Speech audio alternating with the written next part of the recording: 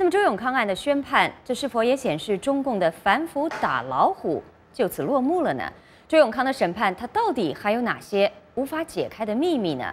我们下面为您继续要通过连线邀请的是香港资深媒体人程翔先生来谈谈他的观察。陈先生您好，欢迎来到美国之音。你好，你好，大家好。是，刚刚您也听到了我们记者东方的一些分析哦。当然，在判决前，很多法律专家认为周永康不是死刑就是死缓。您是不是也觉得判无期是轻判了呢？我觉得整整个案件的处理，我就用用套用北京人经常讲的一句话。就是高高举起，轻轻放下，这就是整整个案件的特点。为什么说他高高举起呢？因为我们看知道，就周永康收监的时候，呃，曾经《人民日报》用“叛徒”这个词来形容他的，而且而且把他比如为这个顾顺章，呃，像中发这些历史上中共的叛徒。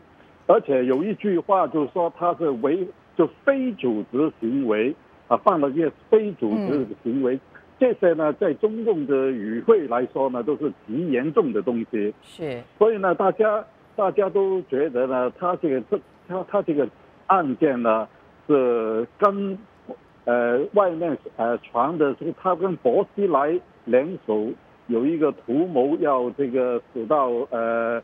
呃，取替习近平这个这个位置是有关的，才会用到叛徒啊、非组织活动啊这些非常严重的的词。是。但是我们现在看到呢，这些政治上的指控呢，一点都没有赢。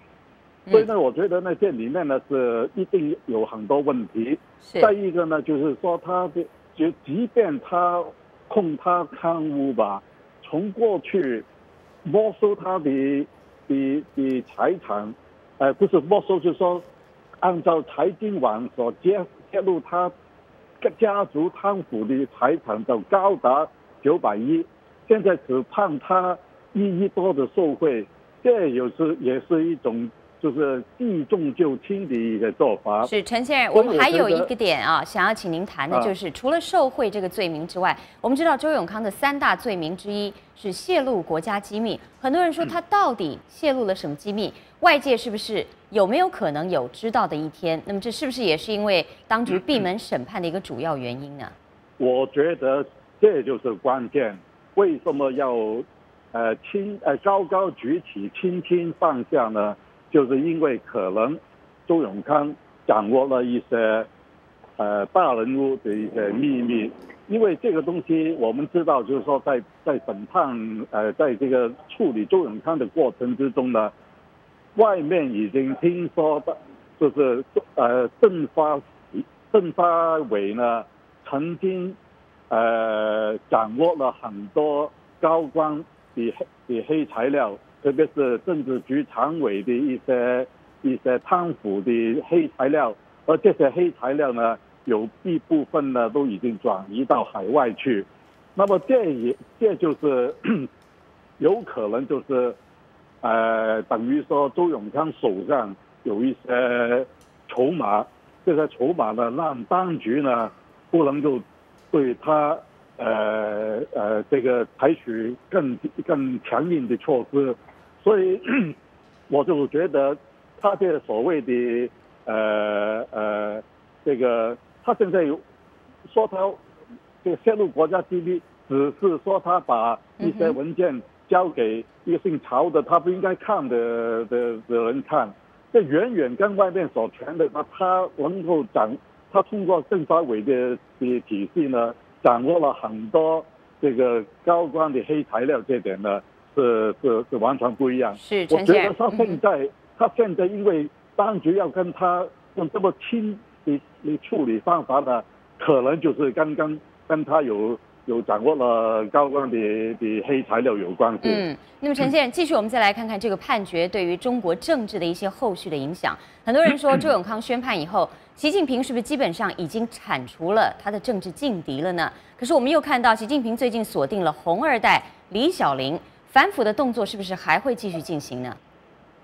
我觉得现在这个反腐的工作呢，已经呃，自从国文贵格阳对胡苏立这个叫板之后，整个反腐的这个步伐调子都已经放下很多了。所以我觉得呢，也许就是呃，因为清除了博跟周这个有有这种所谓非组织行为以后呢，可能这个这个呃反腐的工作。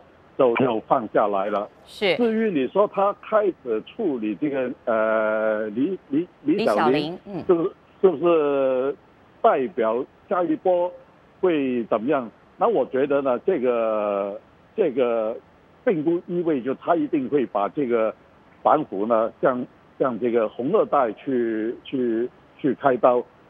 因为为什么呢？因为处理李鹏呢是相对来说呢是。代价小，但是收好收收收效高的一个一个一个做法。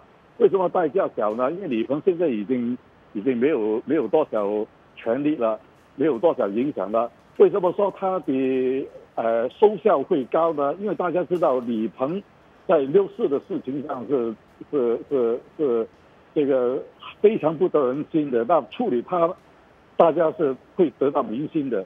所以我觉得呢。现在以呃呃用这个处理李小林的办法，呃可能起仅仅是起敲山政府的的的作用。我觉我并不觉得这就是代表他的下一波会对准这些红二代。好的，我们非常感谢您抽空接受我们访问。这是香港的资深媒体人程翔先生接受我们美国精英的访问。那么有关于周永康案的判决，还有他后续的影响和反应。在美国精英的中文网上，我们还有更多的详尽报道，欢迎您登录查询或者发表您的看法。我们的网址是 voa chinese 点 com。